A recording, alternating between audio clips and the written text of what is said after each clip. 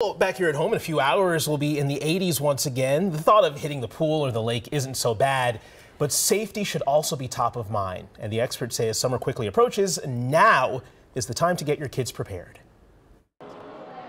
The snow is just starting to melt outside, but kids across the area, like Amy Webb's son Mason, are already taking a dip. Go for it, Mason. Mason uh, suffers from anxiety. Uh, so a lot of like new situations he's very uh, anxious about um, and struggles in some spots. And he's done really good. He's improved. He's swam the whole length of the pool, which is great.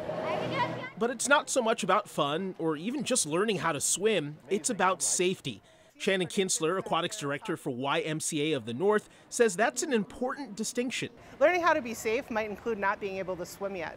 So in our water safety lessons, we want to make sure that they understand how to be safe in and around water. Through a community partnership, second graders from the White Bear School District are bused to the YMCA. They learn safety around water skills, which is composed of three main skills uh, jump, push, turn, and grab. They learn about submerging, so going underneath the water, making sure water doesn't go up their nose, how to have that breath control. Water safety in Minnesota can provide unique challenges. Kinstler says water tends to be gathering places for many Minnesotans, including many immigrant families. And a lot of times it's the older cousins watching the younger cousins or the older kids watching the younger kids, and yet they don't have their own swim skills uh, that they know how to use. Also, remember that melting snow I mentioned at the beginning?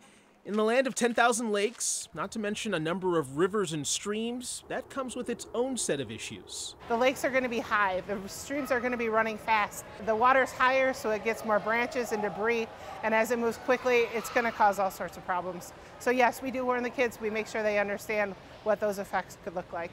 So that's why what is happening here now, weeks before pool and lake season starts, is so crucial. And we have ponds and uh, rivers and lakes everywhere. and I just think it's an important thing that every person should know the basics of swimming.